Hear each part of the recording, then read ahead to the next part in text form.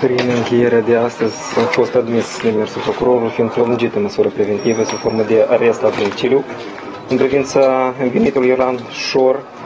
A, Deci, deși noi suntem de părere că dumnealui ar fi trebuit, în privința dumneavoastră, ar fi trebuit să fie aplicată măsură preventivă sub formă de arest preventiv, având în vedere decizia Curții de Apel din 5 august.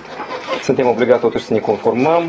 Sperăm în scurt timp să expediem prezenta cauză în instanță de judecată orientativ ca timp ar fi sfârșitul lunii august, începutul lunii septembrie. Decizia de astăzi o contestați? la- Nu, deoarece nu avem temeiuri până Dar la de ce nu urmă. ați solicitat arestul său, dacă spuneați și anterior că vreți considerați că V-am trebuie să m-am stea referit, cum și v-am spus, este decizia Curții de Apel și la moment nu sunt careva circunstanțe noi care ar permite uh, solicitarea aplicării unei alte măsuri